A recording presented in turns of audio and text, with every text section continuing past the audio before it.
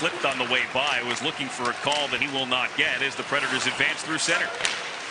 Rocco Grimaldi back in the lineup, one of four lineup changes. This is turned over and it's Brayden Point.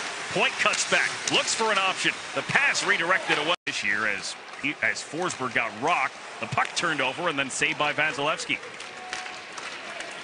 Racing ahead, Yanni Gourde. He'll tap it on. Alongside Jared Brooks Davis. I'm Brian O'Brien. First of all, JD, congratulations on senior night. You are a senior. You have been absolutely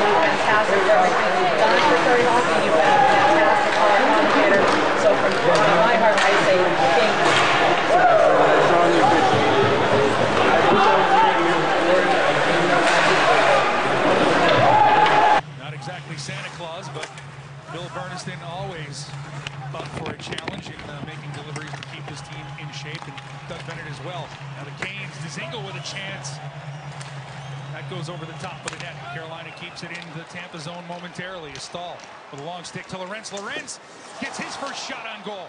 And Vasilevskiy